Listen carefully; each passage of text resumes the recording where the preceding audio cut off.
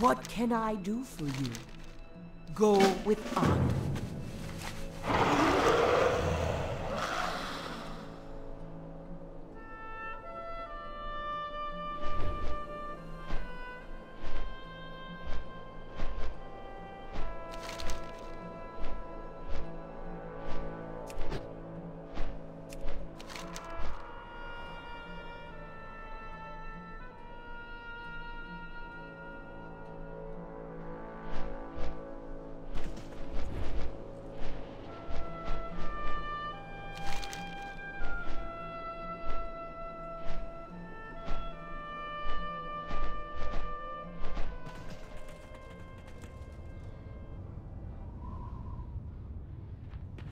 How?